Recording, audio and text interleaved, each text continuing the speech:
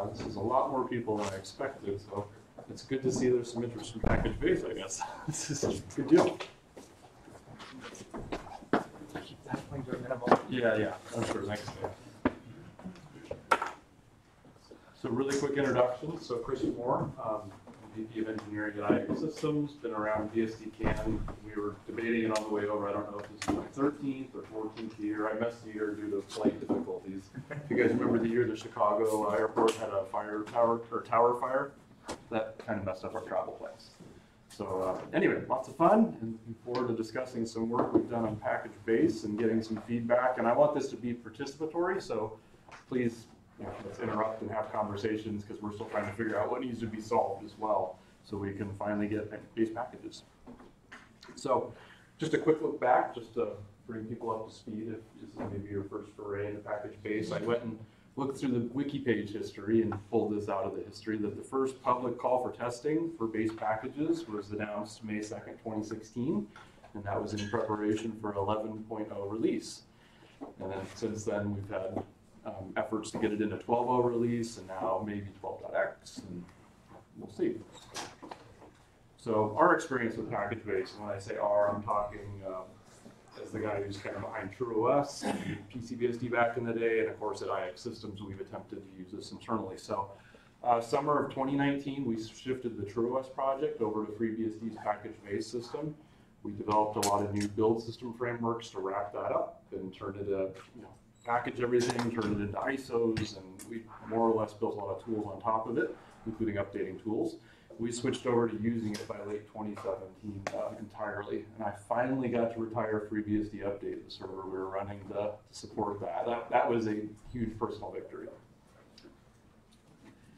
So, by mid 2018, so last year, we began the process of getting some really early builds of FreeNAS 12 and uh, another unannounced project at the time called TrueCommand at iXsystems, and we wanted to build those on top of package base.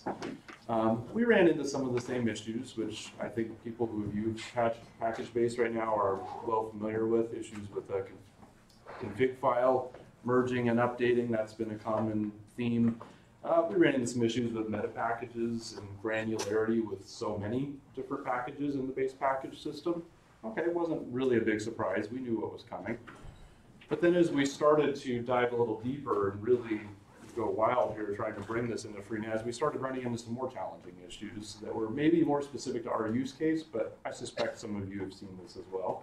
Uh, one of the first ones, which we had a lot of internal arguments about, was we had issues between having two separate package repos. You have your base repo and you have your ports repo, and all the issues keeping those two in sync um, at any given time. We had issues with staging things. One gets staged before the other, and someone updates one and not the other, and it, it got very complicated very quick. So we went back and forth and had a lot of discussions about unifying that. And we ended up indeed unifying it at one point with the base package solution that's in FreeBSD today. We also started running into issues with updating and installation with speed. In other words, with so many base packages, there's a lot of metadata operations in between going and installing all the individual packages, and we noticed a hit to our upgrade times and to our installation times. And then where it got more complicated is when we started bringing in a lot of FreeNAS as custom flags, where we build with and without different things, and then we started noticing, oh, the dependencies, the lack of dependencies, if you will, are a little challenging dealing with this. And things that used to be there as a package have just disappeared with you know, setting something to without. So that became challenging, especially when you have people already running on the old package base and have the previous version package wasn't very good about cleaning those up and knowing what, what is indeed gone. Um, what was that, Joe? Repeat that? I said my average upgrade time was at least thirty minutes because fetching six hundred or more base packages during the upgrade process. Yeah, that was definitely a challenge as well.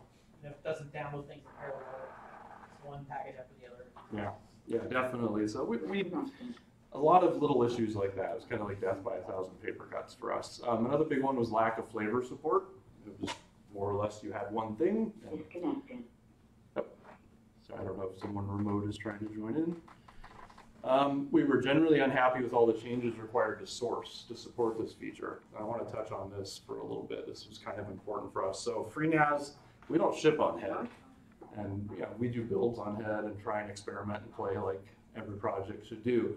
But really, we ship on stable. We ship on, we're still shipping on 11 right now. We're getting ready to move to 12.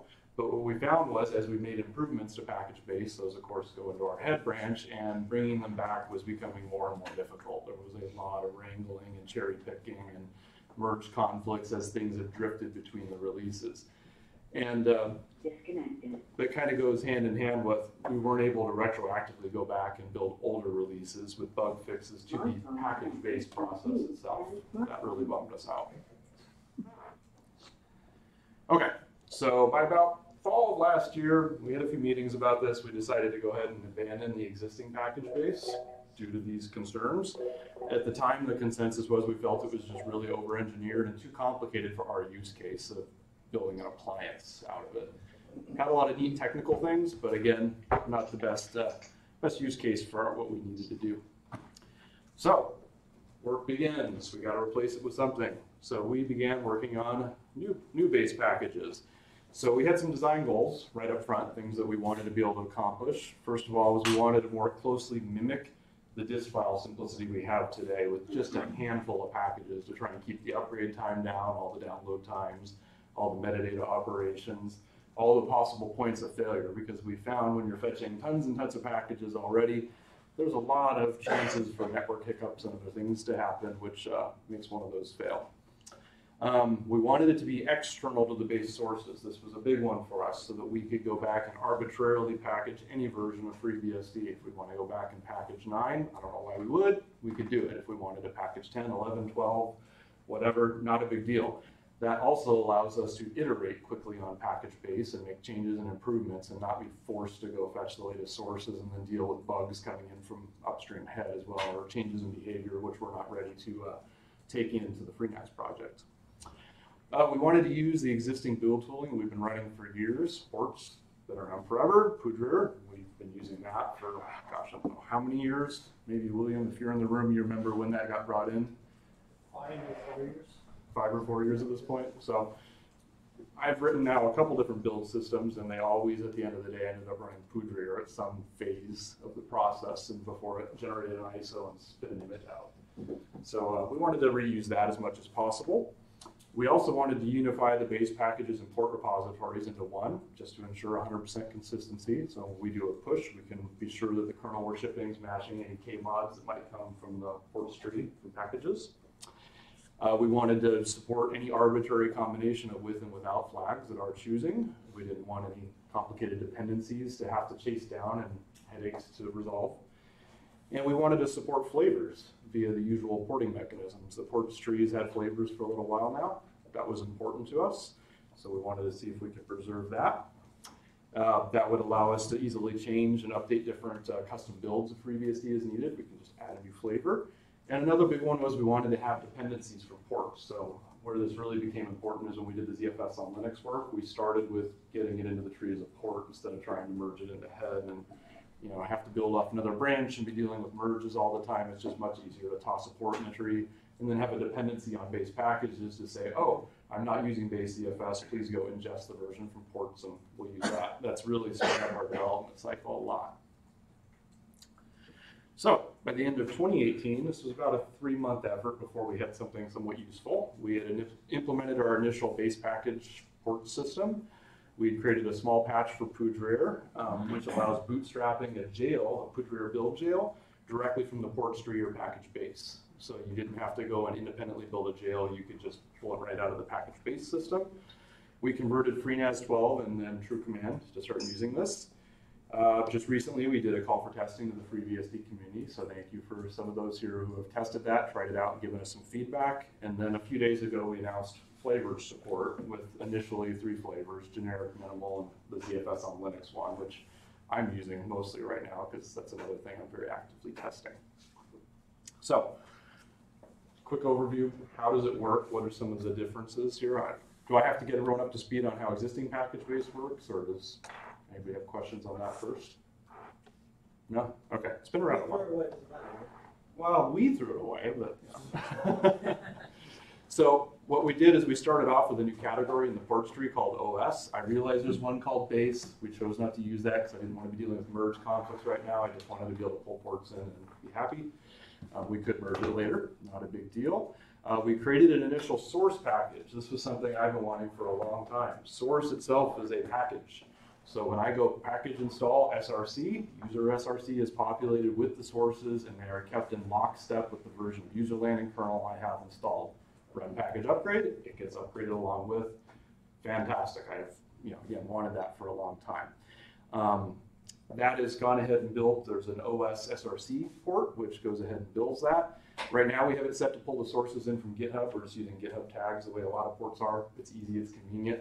We added some hooks to the port so you can build from a locally checked out tree. So if that's your thing, you can do that as well, which is great if you haven't pushed stuff anywhere yet. Um, we then created two packages, one called build world and build kernel. Those do pretty much what they're named. So they'll go ahead and run the initial build. And then they will package these into a single tar tarball, which we then stash in user dist, which is uh, important. We use this later to build the real base packages. We have a couple packages called userland-base, kernel, kernel debug, kernel symbols, blah, blah, blah. We chunk those out into individual packages. We're doing that right now. There's a review and Phabricator for sub packages. Is anybody familiar with that here? Or know what that is? So sub packages will be something we could adopt for this down the road. It lets you build one pack, one port, if you will, and then turn it into multiple packages. This is how we're working around that for the moment. So that behavior could change as time goes on, as this uh, work on sub packages potentially lands in the port tree. Be happy to make that shift when the time comes. Didn't want to depend on it for the time being because there's still argument over that review, and we'll let them get that all sorted out first before we go ahead and rely on it. And we found, frankly, it was really nice to have single tarballs of World and Kernel available because there are still a lot of tools out there that you can feed a tarball into um, to set up a jail or um, set up another Poudriere jail, for example. So it is pretty handy to have that available. So after we've done the builds, we have our tarballs. Again, we chunk things out. So we have an OS userland package. That's a meta package. That only exists so you can just do a package install userland and it installs all the dependencies. In this case, the dependencies would be userland base. That's all your base contents. And then you have optional dependencies on docs, lib32, test, debug, etc. Um, that's also where we put flags so we can turn on dependencies on things like ZFS on Linux. So when you install userland, if the ZOL flag is set, it'll automatically ingest sysutil's ZOL. Um, again, we created patches for Poudriere, which adds a couple new uh, options, actually one mainly, but a new dash M ports option. So if you want to build a jail, you just point it at your ports tree. It'll go, oh, great, you have got base packages here. Let me helpfully build those for you. It'll bootstrap the jail and you're ready to rock and roll. Um, after it builds source, build world, build kernel on the host, it basically just installs the Poudriere jail from those tarballs we generated, which uh, makes it pretty easy.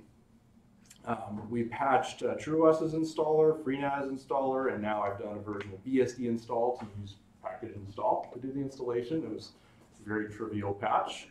And then at that point, we went back to our regular day jobs and started working on FreeNAS 12 features and things related to our product. So it was pretty straightforward. About a month ago, we dipped back in, started adding flavors support, and got those more or less working. Pretty happy with them now. So Poudriere will go through and rebuild world and kernel with different flavor flags set, and you end up with a bunch of different packages to choose from potentially. And I posted something in the mailing list on how you can uh, use those and change between flavors on the fly as well, which is pretty nice. I was actually concerned package wouldn't do that properly, but we found a way. so uh, problems still to solve, and these are problems common to both package-based implementations, but of course migrating from non-package-based to package-based. This is one where I'm looking for some feedback from different folks in this room for what your particular needs are. For FreeNAS, it's not as big of a problem for us because the way we handle stuff in Etsy is we throw it away and our database recreates everything at boot up. So we can just go ahead and install everything fresh and vanilla into a new boot environment, boot up, let the database handle its thing when it starts. FreeBSD, obviously, for general adoption, we're going to need to solve this a little better. So bring in your existing Etsy conf files, package them up, make sure package tries to resolve the conflicts as it goes forward. I'm sure there's going to be challenges there. Um, some we're trying to resolve at the moment, correct? oh, yeah, yeah. There's just issues. There, yeah, there's issues. You'll end up with stuff that doesn't merge cleanly, and that's one one of the problems I'll mention here. we need, we'll need a tool to help manage these merge conflicts better at some point. I don't know if this, some, this is something the community, the consensus is we want it to go into PKG directly, or does it need to go into a tool you run after you do PKG to go and clean up the bits that did not merge cleanly? Looking for advice here on how folks would recommend solving that. Any thoughts? This many people in a room, somebody's got an opinion, right? Yeah. Should do like etcupdate does, so it will merge if it can, if you can't, it tells you you can't, and you fix that manually. That would be the easy solution, so the answer was do something like etcupdate does, where it'll try, and if it can't, it tells you to go resolve it by hand. We could probably do that in package now and just add some language that says at the end, here's the list of what failed. Yeah, I mean, you can have a package comp to go on, and like a package comp status, It would be like, what if the update doesn't deem what status is involved. Yeah, so having a package comp status that just tells you at the end, here's what didn't merge cleanly, And then maybe what also merged cleanly. And like comp resolve and then step through, it's like when you guys say the resolve, it's like when you have con- conversion, it gives you a prompt. Mhm. How do you wanna handle it unless you resolve them one at a time? Yeah, so I think that would be a fantastic solution. I don't know if anyone's actively working on that in PKG, or am I gonna go it alone on this one? Yeah, thumbs up, thanks, Ron. Fine, fine, I, it need- be popular on your to-do list. yeah, it's something we need to solve. I know it needs to be done before we can really adopt package-based as a community, so, you know, we're willing to take the lead on it, but I'd just like some input before we go and code a thing up to make sure it, uh, catches all the edge cases, because again, our specific needs are not necessarily the same as everyone else's. Um, tooling to handle upgrades. This is where it gets fun. What if you have ABI changes, you know, or FreeNAS update, or FreeBSD update, excuse me, does the kernel first, reboot, finish up the update, etc. How are we gonna handle that within PKG? It's still somewhat of an open question. So I'll mention this in TrueNAS and FreeNAS. We handle this, we have a tool internal to us, written in Go, which does package operations inside clean ZFS boot environments. That's our workflow, that's our use case. Works fantastic. Highly recommend you try it if, if you want it. It's a neat little Go, Go tool. But that's probably not ideal for FreeBSD. Um, obviously, needs to support UFS on the FreeBSD side. So that's another one I think we'll, we're willing to help try and solve, but I don't know if folks have opinions on how we solve that from the FreeBSD side. Or is, is any thought, you know, Brad, if anyone's thought about how to uh, tackle this on the PKG side? Yeah, we're, uh, there was work to do a, uh, like a post install, install script that would bail out and tell the user reboot now, then just like FreeBSD updates. So basically update the kernel first, reboot now, and then fail. for updating the kernel first, I spoke with Baptiste about how to do that, and we might end up doing some kind of uh, package priorities, Mhm. uh, so just uh, metadata, etc., and the kernel would be always uh, updated, update So- first. We more or less did that in our tool. We cheated and just forcibly checked if there was a kernel update first. Yeah. Updated that, rebooted, and then said, you know, do the second stage, will. Yeah. Um, so, Junos packages are nothing like but, um, uh, one of the key differences is, is our packages basically contain an ISO containing all the files and you end up with a symlink file. But what that means is, uh, if we're, if we're doing an upgrade or if we're installing a package that requires a reboot to install, uh, we've taught the loader to be able to go and look at you know, a package set, so we can have multiple sets of packages installed at the same time.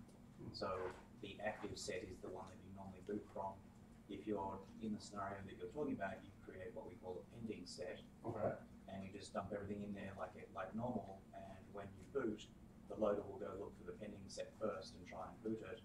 And if it successfully mounts all those packages, it renames it to the active set, and you- you're done. It's a Yeah. and the solution, it's, it's, it's morally equivalent to what you're doing with ZFS. With boot environments.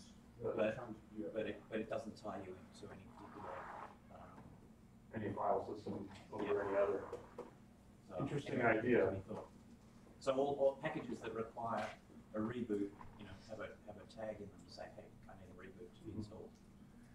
How would that work in the previous world where they're not shipping an ISO, so for example, and you install a bunch of individual packages, which You- presumably you have to do- be you can installed do it with- somewhere? You, you don't, the, the ISOs don't matter that much. Um, it just means you'd have probably more file system I/O involved during your activation of packages. your packages could contain a reboot flag, like uh, Microsoft does with their Sure. SMS updates, right? Whereas, uh, where you have a reboot required yes, no, or maybe.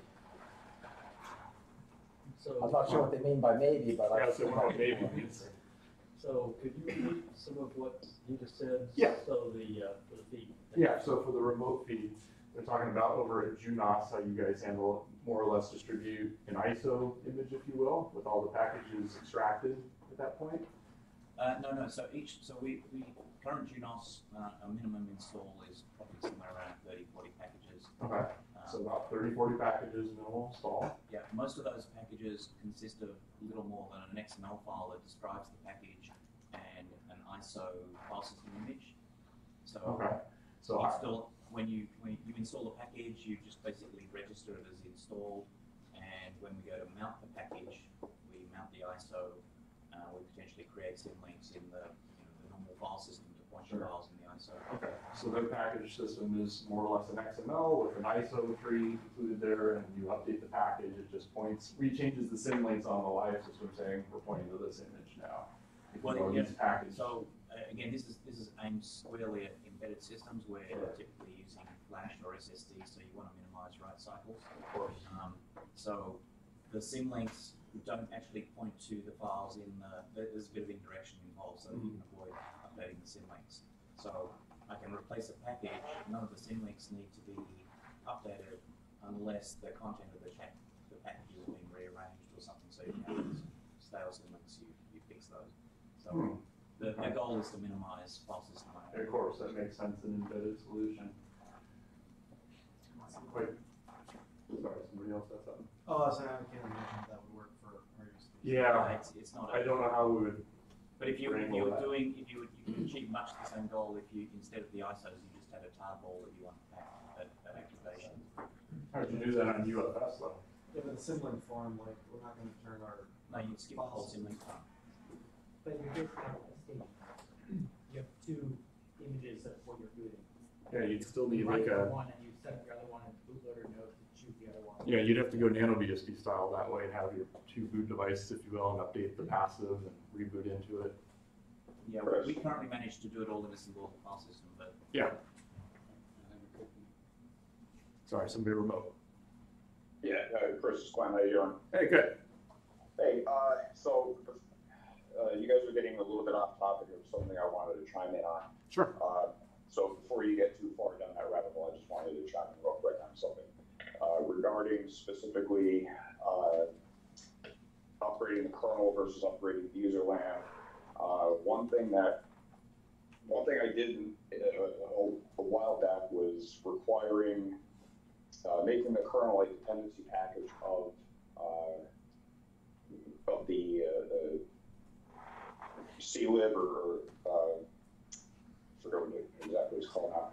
Uh, but a, a dependency of that main runtime package that's, that is dependent by everything else. Mm-hmm. Um, the, uh, the, the problem came up where if you do a package install into like create a jail, for example, um, the problem was that you would end up getting a, uh, a kernel installed into a jail, uh, which Yeah. was unexpected and quickly pointed out to me that that could potentially be problematic. Uh, for example, running a uh, i386 kernel, uh, i386 jail user land within a uh, amd64 uh, host system. Uh, so I just wanted to bring that up that that, that was looked into, and I, I still don't have a good solution for it. Uh, I ended up averting that commit because of the implications of having potentially a kernel within a jail that is mismatched from the host. Yeah, we didn't introduce that dependency into our userland. Kernel is not a dependency of userland specifically for the jail use case that you're talking about here. So, but we do independently update the kernel via our external updater, should it be installed. Yeah. I think one of the things we looked at before, that some of that's already in package, is making the userland packages depend on the running kernel being at least this API version. Uh, and so that those packages won't install until you've rebooted on the new kernel. Do you know if package ever got that support or was that? Package, package now at least does somewhat, like if you try to install the twelve stable packages on, of twelve O, it's like, hey, the ABI doesn't match. Yeah, it'll definitely check the ABI. I don't think it goes quite as. Right, it doesn't go as far as saying, this package won't install unless you have at least this ABI, but it might Mhm. be, you know, a, a way to go forward there. Yeah. I may have to visit that again and Because see. it, it, it still lets you do things like run an eleven user land on, as a jail on thirteen, Mhm. you can't run something newer than the kernel. Do you need to enforce that for jails though? For example, our but system. For jails, it's like it's been, uh, in general, we don't want to install packages that are new in the kernel. Of course, we'll have some way to override it. Sure. because One of us will want to do something silly at some point. Yeah, yeah, of course. So right now, we'll do, we'll do a package install dash R, create a jail, we set, set a different ABI. For example, if we want to load eleven on twelve. For the, for the jail question, can't you just tag the kernel packages saying I can't be installed in a jail? So you just allow everything to behave normally and the, the kernel package says, yep, you're in Sure. jail, leave me out. We could, or do we have to go that far? Is it required It that allows, we? it allows you to have the dependency that, that the, the uh, chapels, Sure. which is, I think Right. You have The problem there is you don't always, like, you're, you could be creating the image for a jail while not in a jail. And things like that. No, the, I'm It would saying, solve the problem with the upgrade. the, the package system, the package system, i i you have tags in the packages and the package system says, hey, I know I'm installing into a jail, I don't care where you built it. Mhm. And the package will say, I don't get installed in a jail, so leave me out. Well, you have to figure out how you do dependency resolution on the thing that normally depends on that package. So your Yeah. user land is Yeah, so you, dependent on the for instance, your main runtime thing can say, hey, I depend on either the kernel package being there or being in a jail. Right, that's, yeah, so it's, it's actually on the dependent package, or it's on the dependent package, not the So provider. Right, but you- what I'm gathering from this is you guys feel there should be a dependency on the kernel from user land, because we do not have one right now, purposely. So for exactly this reason, we instead during the installer choose to install user land and kernel as separate packages, both with the vital flag set. And then our updater will make sure, oh, if there's a kernel installed, let me helpfully update that for you first before we do the rest. Yeah, well, I like the idea of, oh, sorry. No, I mean, I was just going to make a possibly dumb suggestion. All right. Since there's in fact a range of kernels that could satisfy this dependency. Correct. There's a missing, I believe still missing, ports and package feature of being able to have multiple different things supply a dependency. Mhm. And for jail, you could choose to have a package which was a fake kernel that just satisfies the dependency. I, I was gonna say, in our package system, we have a, you know, a, a, a, a provide require thing. So, you know, a kernel, the kernel package, which happens to be sixty-four bit, you know, he provides a sixty-four bit kernel. Um, when you install the compat thirty-two thing, he says, you know, I provide a thirty-two bit quote kernel. Sure. So anything that's saying, hey, I need a thirty-two bit kernel is satisfied by having the compat thirty-two stuff present. Okay. Brian, thoughts on that? Uh, I'm pretty sure that, that dependency syntax isn't PKG, it's just not in ports, Yeah. so nothing uses it, but, I mean, if you're rolling your own packages, here you could use provide requires. Okay. So we need to expose that to the port stream. That means touching MK. People get all cranky when I do that. no, I'm willing to. Put it in the TLS file, don't? What was that? Can't you just put it directly in the TLS file? Uh, does that go in the list or is that in the manifest itself? It replaces the entire dependency. Yeah. Yeah, that, that ends up in MK in the scripts directory where we generate the manifest. That's where I have a patch to add vital flag right now. Have fun, Kris. Yeah, yeah. Thanks. We appreciate it. My idea of just using an integer, uh, looks better now, doesn't it? It does. So just need something that, from the environment, you said provides kernel ABI version number, whatever. Doesn't necessarily have to come from a package, it could just be, uh, what's the thing, kernel environment stuff you do this week. So what's the objection with just not having the kernel dependency on user land? Again, just throwing it out there, is it so critical that when I PKG install user land, I have to have a kernel with it? Well, There are if you want to install kernel modules that match your kernel, In our use case, would be, we would like to replace the standard uh, FreeBSD kernel with our own one. Mhm. So we have our own userland packages which depend on our version of the kernel. Sure. With our extension. But if you have, if you're building your own images and you have an installer, can't you just tell the installer, in- install ours? Well, wouldn't, in- in that case, you just have a flavor? You just create a flavor and say, here's all our, Maybe all that's our the way bits? go, yeah. Maybe, maybe, yeah. So ha- having a fully expressed dependency graph Mm. makes it a lot easier to avoid shooting yourself in the foot. Sure. Okay. Well, Good thought. thoughts. I'll have to- we have to build that versus. Yeah, there's some simple tooling. Safety on the foot gun that doesn't let you, uh, install a new user land that won't work in your kernel unless you say, yes, I'm willing to shoot myself in the foot. Yeah, I know I'm doing something It's dangerous. something Much smaller hill to climb. Hmm. See, the kernel depends on libc and libc depends on the kernel. I don't think you would have to have that dependency on the kernel on libc. You go the other way around. Like with my route, it would be, don't install the newer libc until you're running the newer kernel, Mhm. unless you say, I'm willing to deal with that. Do we know even if you're running something in a. We, so you're saying is we need a dash YOLO flag? But yeah, yeah, there's, there's a unit flag for when you want to install it in So French if you run. put a boot environment for an upgraded system, you don't necessarily worry too much about whether it's. Yeah, but that's C, backwards. boot, It's supposed to be the other way because You can always go back to the new environment, the environment. Hmm. I, I did it the other way around. I snapshot the working system and then overwrite it with the new version. It's the Yeah, same well, thing. that's kind of what I meant, but you can Right. build an entire boot environment, with new kernel and new packages, Yeah. before you even try booting it up, because you know you've got a backup path. You Yeah. can't do the normal UFS upgrade thing. Which is great for ZFS, but then when, you know, Are you guys envisioning use cases where on the base, again, leaving jails aside for a moment, where on the base you are expecting to upgrade or change kernels um, out of lockstep with userland? You just arbitrarily want to build a new thing and run with a different userland? Because in our use case, on the TrueOS FreeNAS side, it's shipped as a bundle. You get a build, it's in one repo, PKG Upgrade's gonna upgrade both together, always. I think as a developer, you want to do that, but as an end user, I'm not sure. One thing, Most end users, I think, would want to just uh, fire and forget. Yeah. well, the only case, like, the only reason I'm envisioning not letting you install the new user land until you booted the new kernel is the cases where, you know, you've installed, if you install this new user land and the new kernel, but haven't rebooted yet, now you have a user land where top won't run because Mhm. some sysctl doesn't exist and PS doesn't work and maybe the reboot command doesn't work. Sure, Uh, sure. And then how do you start to get onto the, Better hope your IPMI was set up. yeah. why would the clone vote? Yeah. Well, that makes sense. I mean, to some Like- extent, yeah, to some extent, is this really, like, from what you're saying, like, is this really that much of an issue?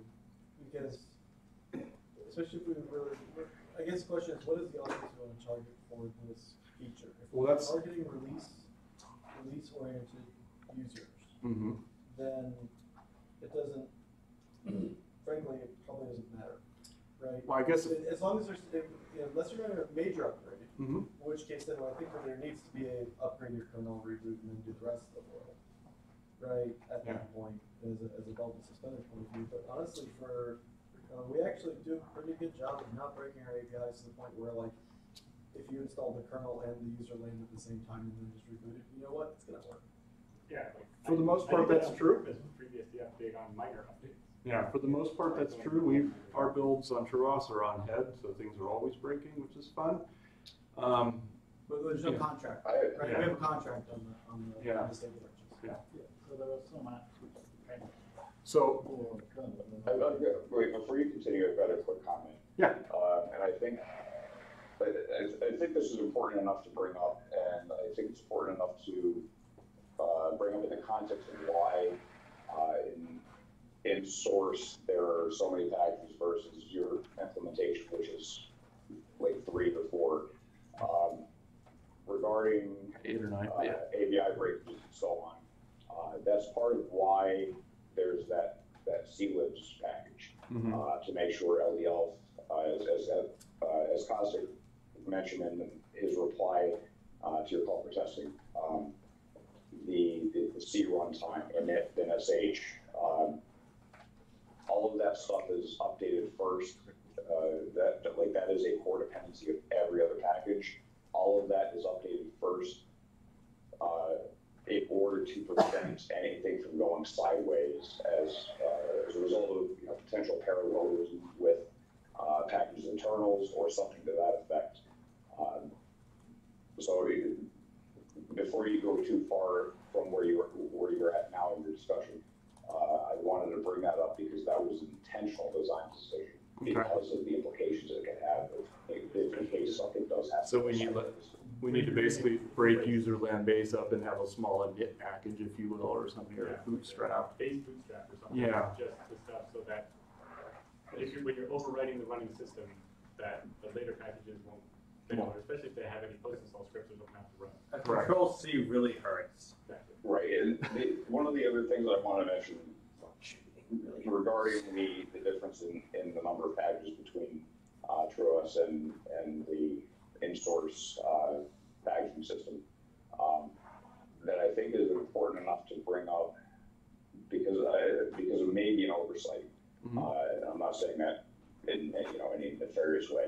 Um, the fetching a seven hundred megabyte package when I'm updating a Raspberry Pi three, for example, uh, can be extremely painful when it comes down to updating the package and extracting, you know, downloading it is, is one thing, um, but Sure. extracting a seven hundred megabyte package for a, you know, for, uh, for a Raspberry Pi or whatever ARM board it is, uh, is extremely painful when it comes to SD cards and the update time when with using uh, the in, in source version of uh, packaging base, an update would maybe take you know 20 megabytes at best. Uh, the extract time is very minimal, regardless of depending on what's being updated. Uh, I think that's important enough to bring up in context of uh, of this discussion at this point. Yeah. So I just wanted to mention granularity. that before I, before I, it slipped my mind. Yeah. I just want to make a, another comment on the, on the foot shooting thing. Um, so we've, we've basically been shipping a package-based FreeBSD-like system for nearly twenty years. Mhm. Um, and if you leave any option for people to shoot themselves in the foot, they will do so. Of course. Um, we used to get, before we had our new package system, we used to get at least one bug file per year where somebody had done an upgrade install, ignored all the warnings about you need to reboot now, um, come back from lunch and found that they were being timed out, so they're logged out of the system, and they can't log in anymore because now the userland and kernel is out of sync. Yeah.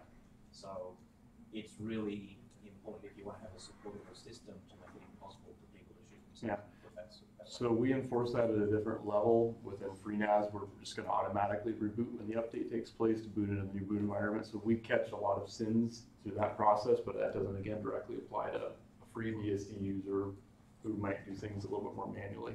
Side note, we're currently calling reboot, we may wanna try to make sure it's low, as low level as possible, Sure. so I'm not relying on outside binaries. Uh, we call reboot from the uh, original boot environment right now, so it's not. Oh, yeah, that's not sorry, I was thinking it was duh. You can have- ZFS lets us do a lot of nice Yeah. things, so we can get away with a lot more. But you could actually have a flag similar to your vital flag, Mhm. in that, um, when that flag is set, even if the user doesn't want to reboot, you're going to reboot, Sure. and you're gonna like it. Yeah, it's gonna happen as part of the process. Our system updater just tells you it's gonna reboot at the end, yeah. That's And you just got gonna no say happen. about it. Yep. Yeah, you don't want to do that. Um, it, it's, it's okay to, to give people flags so they can say, yes, go ahead, reboot when you finish the install. But if you have a situation where you need them to provide that sort of flag and they don't, Mhm. you're better off to fail the install saying, I can't do this unless you give me permission to reboot. Yeah, yeah. That makes sense. Uh, good. Yeah, I just wanted to go back to what Glenn was starting to Yes. say.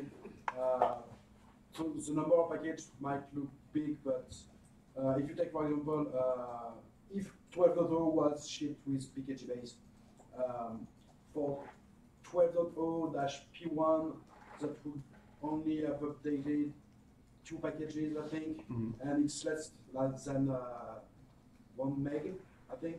So the the update process would be very quick, etc. Sure. Uh, usually you don't. I know that's how people have used PKGBase, and I think it's how you use PKGBase that you always reboot every packages, and so you always update seven, eight hundred packages. But that's not how PKG base was Mhm. uh, viewed. What you need to do to properly use PKGBase is you choose a date, you bootstrap the packages for the release, um, you update the releng branch, you build the package, you diff them, Mhm. and you just copy over the package that, that have changed. Yeah, the deltas. And yeah, and you're only doing, uh, you only fetch the whole set of package when you update to a minor version because uh, between, for example, 12.0 and what is actually uh, uh, 12 stable, Mhm. almost everything has changed. So Yeah. every package will be updated. But on a daily basis, to handle just uh, security patches, uh, do we just update one or two packages? Mhm. And, and I would like to say that we had an automated variant of that towards the end of us using our package base, where it only used that. And the other thing I'd like to mention, just to be clear, there's 795 packages, and I should have put looked the number before, but the important thing is a lot of those are literally empty. I went when we went to do the ZFS and like stuff, and I'm not hitting on the people that did the work. Mhm. I just want to make it clear to everyone that like I went to go when we went to go do the ZFS on Linux package. I went, oh great, we can just not install the ZFS package, install the ZFS on Linux package. We don't have to do any without flags. I went into the package and it was empty, along with a lot of other ones. So looking at the work still to be done there, I just want to point that out. That was where it got complicated. We started setting different with without flags as well. You mean it didn't install any files, Yes. but you had dependencies on the metadata? No. No? It had it had metadata saying I exist. Which, which package was it? ZFS. As well as the installer, I mean, how are you gonna maintain a, a list of changing packages and things as we go? So, and I also want to say that there's actually nothing about the new build system to Poudriere that says that we can't build out manifests and do as many packs as we want. These are actually two orthogonal problems where it was chosen to break it into, uh, you know, break it into just these five, but that is really up for debate with the additional, the, the method this is being done Yeah. through integration into Poudriere. Basically, splitting it into more packages is relatively trivial. It's Just copying a couple ports and changing which files are getting packaged. Um, we could go down that rabbit hole as far as we need to, as makes sense. I mean, if we wanted to split out kind of a base bootstrap, easy peasy. Yeah, a lot of the base packages are like profiling libraries or Mhm. symbol work. Yeah, so we started by splitting out the obvious ones: debug, docs, tests, you know, symbols, that kind of stuff. Yeah, I confirm that the ZFS package is empty. I will look at that. Yeah, It it happened just a few times. I'm I'm not saying it's all of them. I don't, I didn't look at the number. I'm It just only saying. contain etc ZFS. So it might depend on if you have an export file there or whatever. Yeah. yeah. We a different approach to it, uh, and I think we would have problems with PKG's conflict system. But Mhm.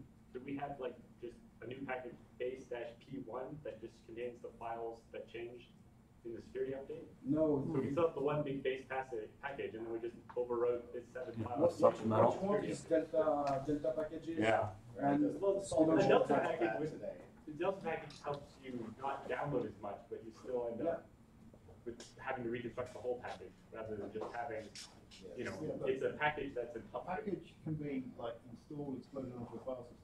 So all you need to do is update some metadata in the package database Right, and replace the file. yeah.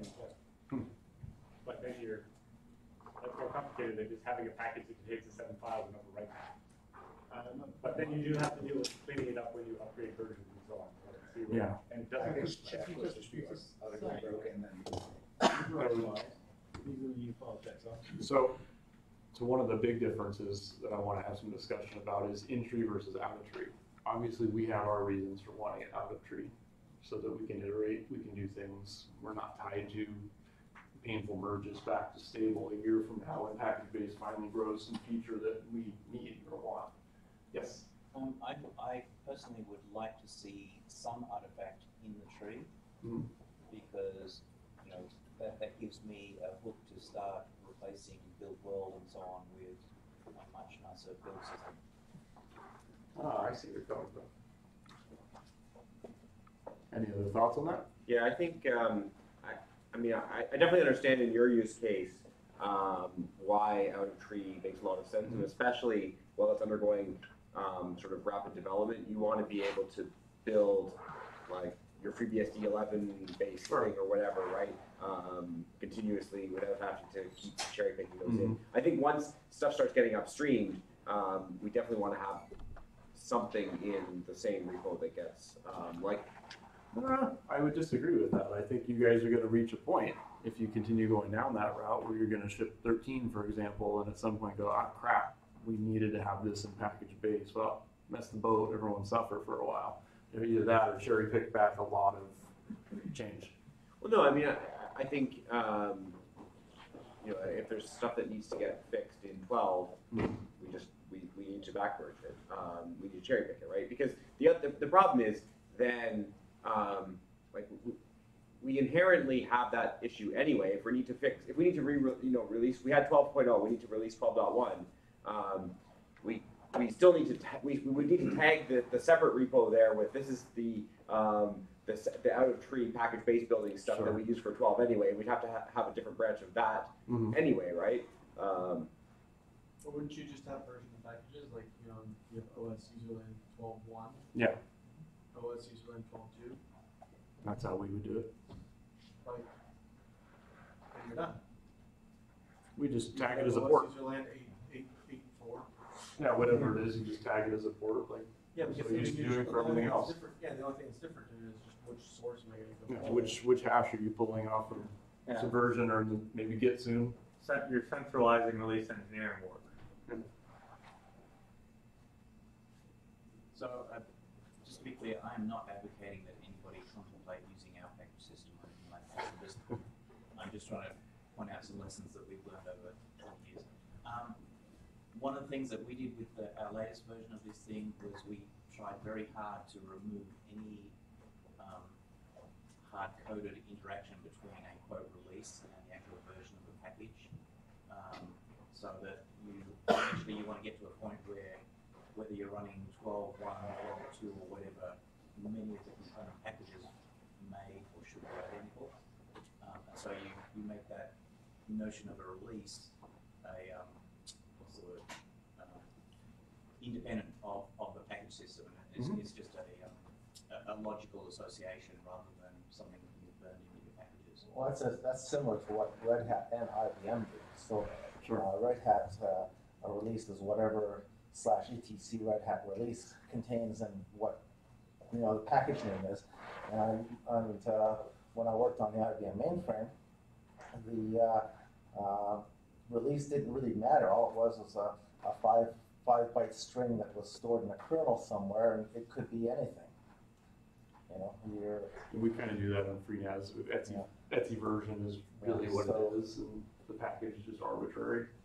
So any user could, could, or any person could poke whatever string they wanted in there and it would be anything. So your, your release is really a collection of packages that Yeah. are in that bundle or on that tape.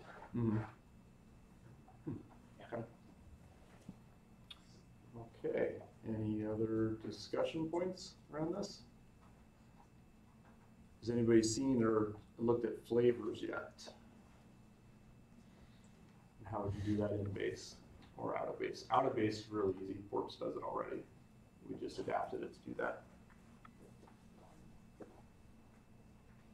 Our flavor is a big thing we need for base packages, I guess. Is that still a big want?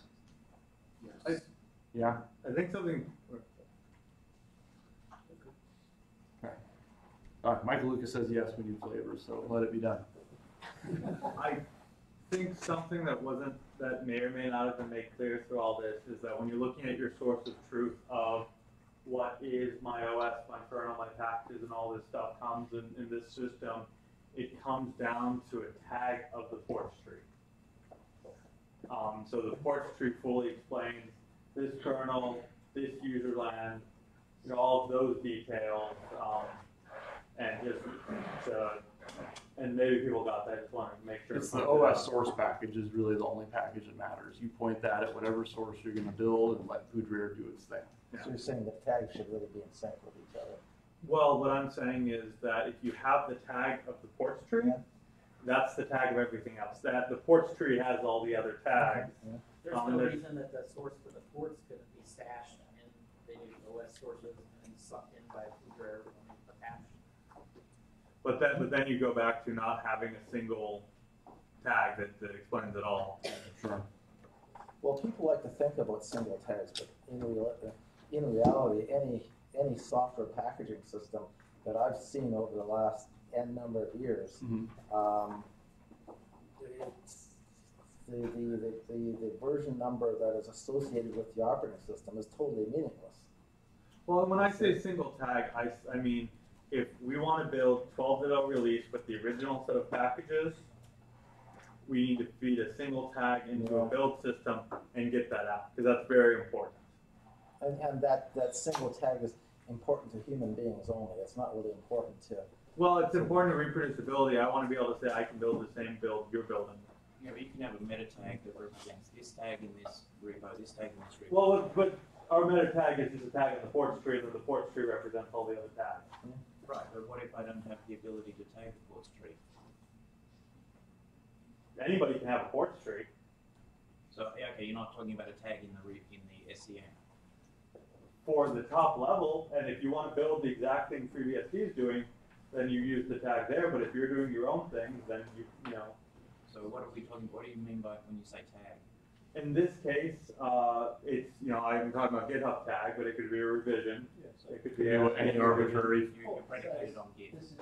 Well, No, no, it could no. be, You can do an SVN tag that's local to your system. You have a revision to where, Mhm. tag is just a symbolic way of Yeah. saying this is. saying this. A- Any, any way of saying the ports tree at this state. it could be a GitHub tag or R number or anything. Or, or if it's Could be a disk file, could be a tarball of the sources. yeah, yeah, It if doesn't really it's just matter. a tarball of the, you know, ports tree and, and It's you're, an artifact of the repo that you're referring to. It's just a name. It's yeah, yeah, yeah, so. Okay.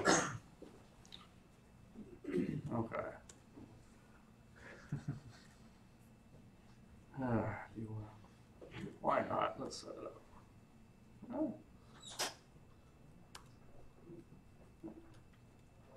So this one I just went ahead and set up. This is uh, 12, FreeBSD 12 we set up with ZFS on Linux as a flavor. I selected it right at the beginning of the installation. And nothing exciting here. Everyone's seen the installer a million times, I'm sure. Oh, thank you. Okay. Wow.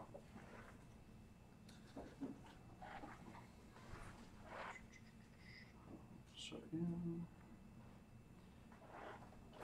Uh, any other comments or questions or thoughts or? Yeah. ZFS on Linux?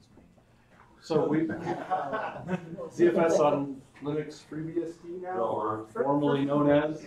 First, is that a troll or is that? I'm asking for real. Okay, so. So- Based on the example, You have long threads in your developers that. Yeah.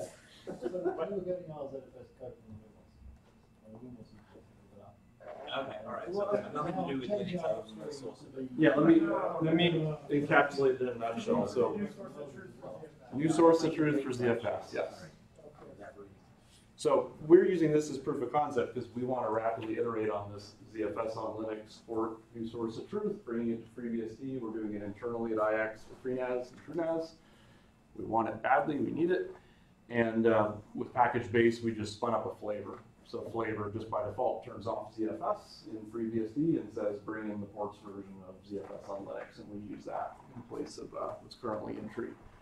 To, to help with this situation, once there are patches to make that version of OpenZFS work on FreeBSD, get upstream, hopefully, what, in a month or so?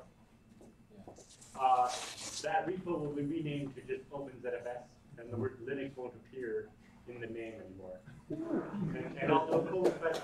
the legal penguins. Yeah, I can put a VC beside it. So That- eliminates the confusion. Yes, yes. Well, finally, we'll have the true multi-platform file system we've all wanted. You can run it on Windows, OS X, Linux, BSD. I will never use exFAT on my USB stick again. I'll just throw ZFS on it. That's a. Yeah. So, so when are you adding, uh, ZFS to your five? Uh, yeah. I ZFS it, yeah, My That would be smart nice. TV doesn't speak OpenZFS yet. So in this case, what we have here is I've just done the ZFS on Linux flavor. Again, just a choice during installation. You'll see here, we have our ZFS flavored userland, which in turn has injected dependencies on these. These are just port options. Another thing I'll mention we did with the ports is since you can now build world and kernel out of ports, you can run make config and all the knobs are just exposed automatically and you get the nice graphical installer where you can go through and select what things you want to build with. So I'm trying to leverage some of the ports, ports niceties here to make this a little easier for us. Yes. So, so I guess I look at this and say I don't see any reason why we wouldn't go this method where it's out of tree. Mhm. Now, that said, all the other developers here probably hate the idea of us taking away CD user source when you build it, you know. John's shaking his head behind you pretty vigorously. So, I mean, I guess the question is, is Eric, how do you turn this into your development environment? How, how would we work this up for our developer community to say, you know what, guys, it's time for a change, Mhm. and this is how we do it, like to get us out of, you know, a, a, a tectonic shift where all of a sudden, actually, guess what, guys, our ports tree is now the operating system. And the base that was user source is actually just another part that is shipped. And then we get to do all sorts of fun stuff like, guess what, guys, we don't have to be make LLVM anymore because we could just use the Yeah, you just- version of you LLVM. ingest that. Go ahead, John. Like, Define it for the CI setup, so you build your packages and set up a VM to run and test it all. You know, I- like, I just don't, I, I don't, you know, I don't, I don't understand like any downside to it, to, to doing it in the board. Making some will bring go away. And like, Yeah, it's something we use as part of our build. And like, when in general, if you pack on something, well. Making when some you- world is part of, uh, I mean, strictly just. This is effectively wrapping around the installer, so the thing you can't not use it anymore, if you choose. Like, Right. You're not forced to use it. And oftentimes when you're, when you're hacking on software, if there are things that you're using off the shelf, you might go for some nice package with, with the thing you're actually hacking on, you actually want to like have a source code you can build direct. Yeah. Um, so like, I view this as a much more, like, the package wrapping is much more useful for production environments and folks. And not necessarily like for developers who are actually hacking on the bits of FreeBSD itself. I think it's fine to play with the source stuff. Yeah, you could still, I can imagine people This still is a install nicer way kernel, of build kernel, and screw around. I mean, Like packaging up and delivering the bits to like production environments and users. But for a developer, they can deal with something at one point. I guess it, sorry, I know that put your hands up. No. I, I guess at that point, is there a way you could hook after the build world, to like then, then hook into the ports, like I could do my own build world, but then have, use the framework to still do packages as part of the install world. You can do, Possibly. but I think the better thing that we already have, right, because pretty strikes me, you can just have your source locally get pulled in when you do make. not even get pulled. If you have I mean, not- not locally pulled, but- checked out source, the port Yeah. tree, I've added a hook that says if you have this environment variable set for your local source destination, it'll go there, build that, package it up for you, never even check anything out at all. Skips make fetch entirely. So in theory, you could make your build world then just invoke that methodology.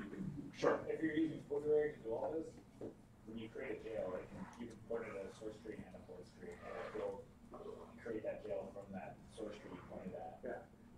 And do all. And you get really nice stuff, like you get, you might get, you know, for when you're building inside of it, you'll all of a sudden get your log saved, you'll get your build times recorded, as long as it's not the first iteration when it has to build the jail itself. Oh, those You'll logs, those logs are kept too. Oh, well, you don't, Stash. you don't get build times that doesn't end up in the free UI right now. Yeah, yeah. Can I I, can can I bring, uh, something back from earlier that I just kind of realized thinking about all this? Mhm. There's absolutely no re, so package already for every manifest holds all the checksums. There's absolutely no reason why we can't tell package to do a package check first and don't extract if the checksum hasn't changed on an individual file. Which means that we're not blowing up the writes on a disk. If a file hasn't changed, Yeah, but you you don't. still calculate seven hundred meg and just We extract already one. do that, actually. It just doesn't, package, Baptiste rewrote it last Okay. Year. And so we don't extract things that don't. Yeah, so, so you're wasting CPU cycles, but you're not wasting RAM cycles. I just, Oh, that's good to know. I wasn't aware. of yeah, I wasn't aware of that either, so thank you. I just wanted to. I don't know if it's in the release of. Oh, I see. I see how it is now. You don't have it really yet. It's in, it's in Git, like what It's, want? it's somewhere. So why Why not is just, it all been broken? why not just download only the changes, like what's? Yeah, at that point, we would want to go to Delta packages. Like, and- like Delta RPM.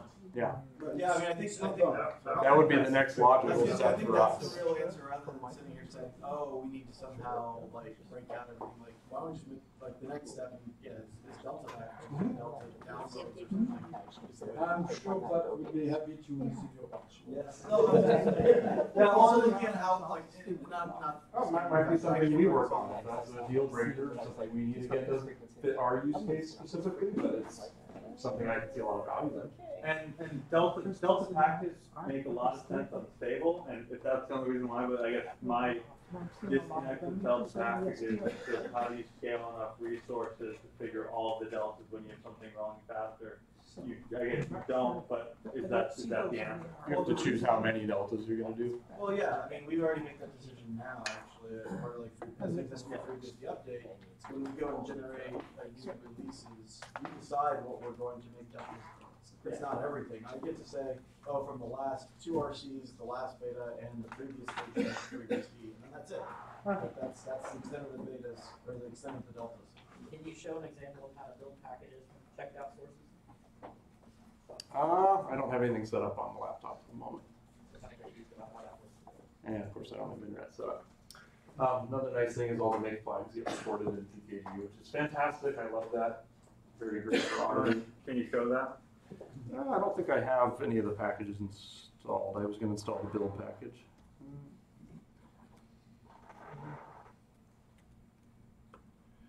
And the keyboard repeat on this sucks.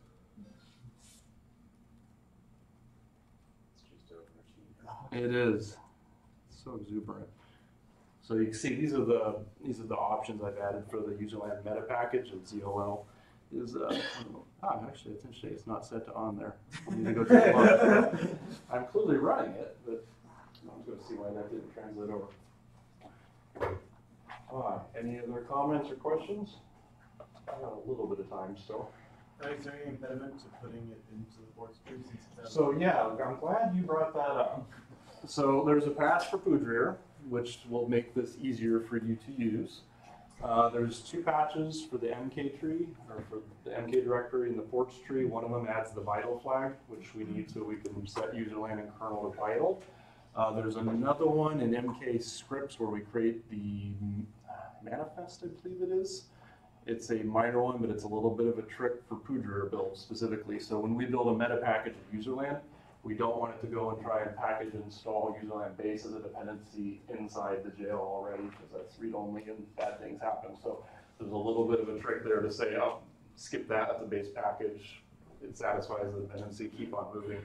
Um, aside from that, it's just a directory in the ports tree with, with the ports, at that point, just an OS directory. Uh, we've written a tool which we run periodically via Jenkins, which goes and updates the tag of the port automatically to the latest GitHub hash in our tree. Um, but you can, of course, modify it any way you'd like using normal port conventions as well. So you can manually or automatically change it as well.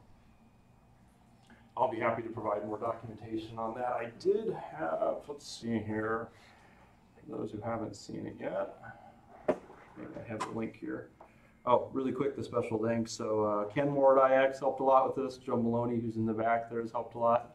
Should put your name on here. I apologize for that, Nick. He's beat it up a lot and got the arm builds working, which was fun. Building. Building, yes. And then uh, the MeWe bot has been helping us out too. Basically, every time we broke something, he would let us know. And to- actually, Kris, uh, Yeah.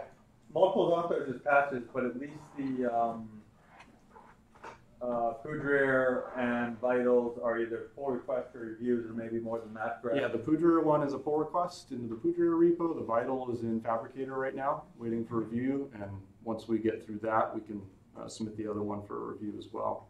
I split them up and just hadn't done the second half yet. Um, there's a bunch of information online here. We kind of set up an FAQ style page with a bunch of info about what we've done here.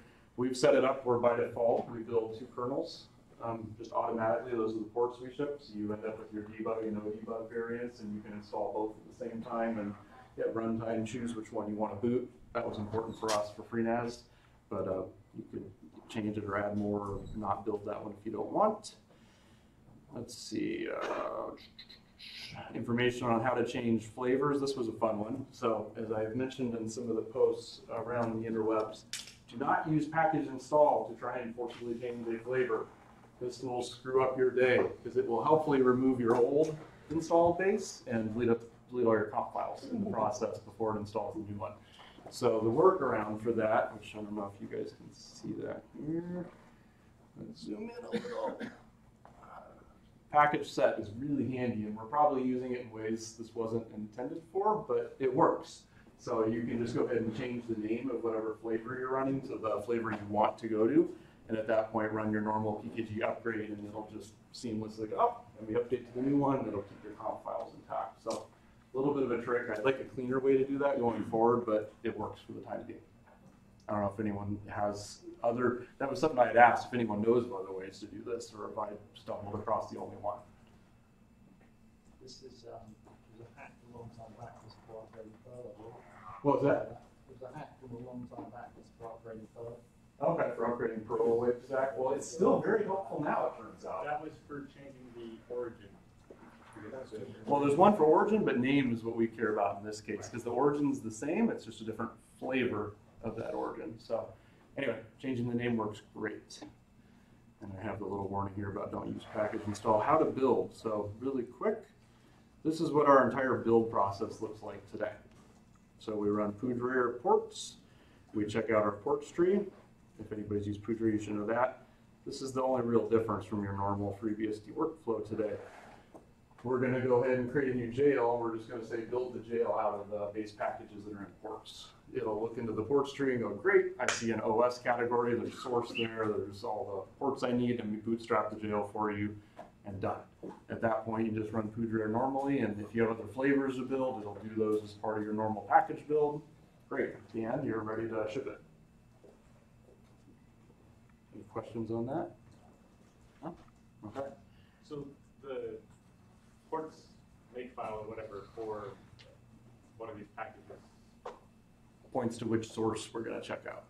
Right, so like, if I'm gonna have a, an eleven dot two and a twelve dot oh, are they gonna be two different packages in the? You, yeah, you'd have to create a different source package. At the moment, I have it set, we're using one for FreeNAS, but we could create a different OS, source eleven, source twelve, source thirteen, and Or- toggle between them. Does it make more sense to actually treat them more like categories? Like there's OS slash thirteen dash current, and then inside of that there's source base, whatever the. things Hey, are. I'm open to suggestions like that.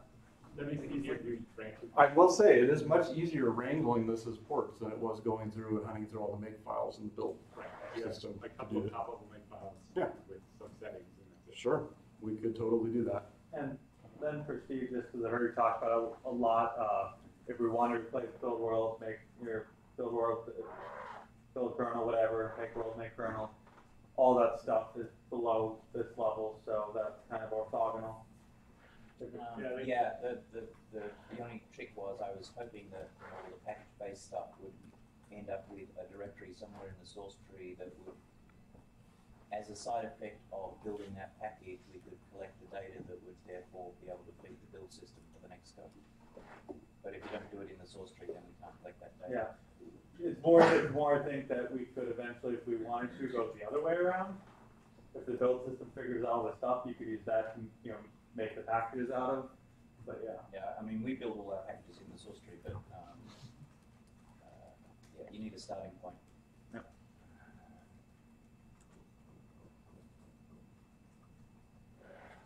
So I'm just grabbing my build kernel here. Again, if you want the tarball, it is nice to have it available somewhere. Hey, okay. Just the object. That's the uh, compiled tarball of the entire kernel that we use to chunk up. Again, once we get sub packages, we may not need this anymore, but I do find it helpful from time to time, just to be able to get a User tarball. option, Or is it like installed? What was that? Is laid out, is this laid out as installed or is it in user option? No, it puts it in user dist, there will be a kern.txt. But the, the contents, is it the contents of the object or the? Just show us what? Oh, oh, yeah, sure. Well, Fine, I'll show you.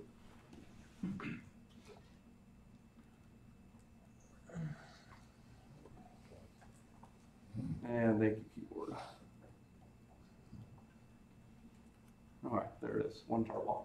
That's, that's all that is, that's just a build artifact. And that's what I use to feed into other tools like iocage that can create a jail from, uh, I wouldn't use the kernel, I'd use userland in that case. That can create a jail from a tarball. Is The, contents of like DESTDIR. Yes, it's the contents of DESTDIR, not the object tree. So we could package that up too if anybody wants all the objects. Well, that's the, kind of what I was thinking about when, uh, NetApp was talking about their system the other day, is that, you know, you would just be like, give me a very recent object or so I can do an incremental build from it. Yeah, that's a good idea. Yeah, Brooks. Do you include the METALOG? What was that? Do you include the METALOG in that? Uh, I do not today. We could grab that though. Yeah, those are suggestions. It's extracted evidence from all, but it's in some ways easier to manipulate. so- Yeah, we could separate that out and put it in the top level and toss it in the P list. Again, I'm a ports guy, so we can do lots of fun stuff with ports, you name it. Okay, no other questions? How would you do the, the upgrade from twelve to thirteen? So, um, the way you would right now with other package base as well, you have to set a different ABI flag, just to say, yes, I know, I'm doing something, I'm moving to the new kernel, do the kernel install, reboot. Do you have documentation of it? Uh, I don't know if that's on our FAQ. It's, I've seen that info posted elsewhere for package base. It might even be on the package base wiki right now. And I could rip that off and put it in our FAQ if we need to, but the process is identical. It's just setting a different ABI flag on the package command. So our updater does exactly that actually. It's just behind the scenes saying, oh great, we're going from eleven to twelve, set the ABI flag and go. It figures out what the remote ABI is of the new packages coming in. But, uh, yeah. Anything else? Okay, So one, so one thing, Yeah. really quick, one thing that just occurred to me, um, you mentioned going from eleven to twelve. And this is, this is kind of the, the train of thought I was in when I was making the, uh, the kernel depend, or the, the user dependent on the kernel package. Mhm. Uh, is something like, uh, uh, ino64, for example, is a perfect example, uh, where you need things to be updated in a very specific order. Uh, you absolutely must, you know, install the kernel and reboot before, uh, upgrading user land. Things like those, uh, not necessarily when it comes to like updating from, you know, thirteen to 13.1. Uh, I don't expect it to be a very huge deal, uh, but the, you know, from eleven earlier or whatever to, you know, eleven to twelve or twelve to thirteen or, you know, whatever the, whatever the path is. Um, that's, that's where I think the, uh, that's where I think figuring out how to properly deal with the, uh, the kernel being a dependency is, uh, kind of important. I apologize for my dogs. so the way I'm thinking is we'd add something probably to the kernel manifest directly that says I must be updated first before others and in place before others with a reboot. Is how I would, you know, if I had to go do it right now. This, this may be heresy, but we also have the option, especially for major updates, of having a FreeNAS up, or sorry, not FreeNAS, FreeBSD update that knows from twelve to 13, oh, we did these really weird things. We need to do this specific thing. And Sure, you can use package ninety percent of the time, but there's also the safer way that we can actually embed into the ports tree knowledge of anything specific we have to do because we did some major update in, you know, source. That's what we're doing with our Yeah. external now is we're basically wrapping around package and saying, these are the things we know we have to do to do this safely. But I'm fine with moving more of that into PKG itself or into the ports framework to give more knowledge to package directly. You had a thought, John? I thought I saw you raise your hand. did, I was thinking of a provides requires, which is providing version, like APIs. I provide the FreeBSD, what, like, your kernel would provide, and it could even map to what can have FreeBSD two options you have enabled. So you Sure. Provide the FreeBSD four API and then up to the FreeBSD eleven API. But that's still, it's still at the top of the jail. Yeah, But, but maybe you could do, maybe you could keep it from doing stupid things by letting you package install something that the running kernel package doesn't provide the API. that's a thought. Yeah,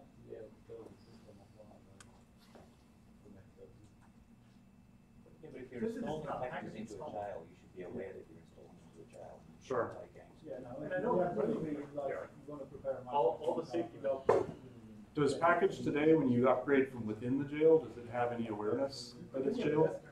it, it floats at whatever NSH ABI version. No, that's fine, but I mean, does it realize I am in a jail? Yeah, it Should be able to. It knows. It knows? Yes, it, Okay. it prints the host name as part of the progress thing, it takes Okay. up the whole bloody screen. Yeah. But like, I think, we can turn off most of the safety belts if you're using the dash R option, if you're building an image offline, like you're not using package install, you're doing install that R, and you go over here, and it might not even be the same architecture as what you're running, and so you just turn the safety belts off if you're doing that. Okay. You know, just like a dash off flag. All right, well, if no one else has any other questions, let's keep going on the conversation. I guess we get some traffic on the package-based mailing list here. Um, we're happy to keep implementing and adding some of these features. I think having the object directory is a good one, getting the meta log out, great one. Taking a look at how we can do some dependencies on the kernel and maybe assist in the upgrade process to do it safely, less foot shooting. It's a good way to go. Conf thing, Oh, conf things, yes. like, like conf diff, which I've mentioned before. Yeah, conf diff, that's a must. We need that like yesterday. I'd also like 100% to agree. see us move more of the things that are defaults into ETC defaults includes. Like we added includes to newsyslog, but the defaults are still ETC, not ETC default. So. It would be nice if there was nothing to merge. If we ever change the default instead of not having merge conflict because you touched the file.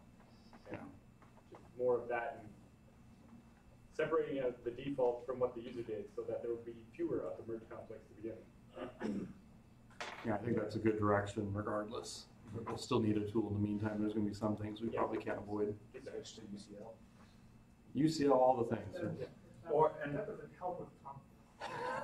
Well, if you separated the defaults from, like, these are the ones that the OS provides, you don't touch them, you override them in your own Well, file. that's actually not what I want, because when the OS version changes, I want to know if I want to update my, my custom version to somehow match with the OS change. So actually, even if you split out the separate files to reduce the like spam of the conflict, I would probably still want to edit the official thing. Right. So that I know if you change something to Slack factor, then you change my custom version. You can't get around the fact that the user actually has to do something. Yeah. I mean, it's either changes in actual settings. It'd be so much easier if it wasn't for users. You can if you don't care about users. Always. Right? You don't have users. All right. Well, thank you guys very much. Uh, be happy to answer any other questions later.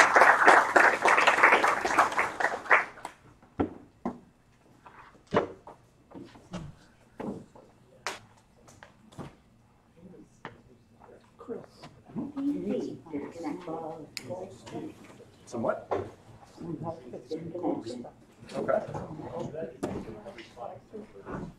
Yeah, a few of us know a little bit about it. Yeah. Okay.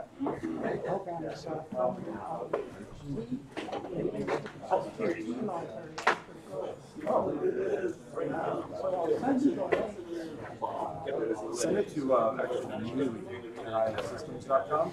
He's probably the best one to help. He's done several of these now. Okay.